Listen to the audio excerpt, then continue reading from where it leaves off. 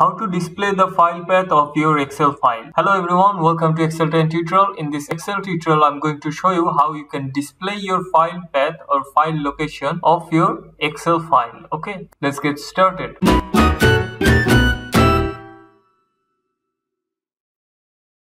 I'm going to explain two ways. One, you can simply copy the file location or you can open the file location. And in the other way, you can display your file location here in the toolbar. Okay, so let's go for the first option. Click on file and you can see here copy path. If you click here, and if you paste it anywhere else you can see the file path see this is the file path and if you go back to your file again and if you click here open location if you click here your file location will be opened.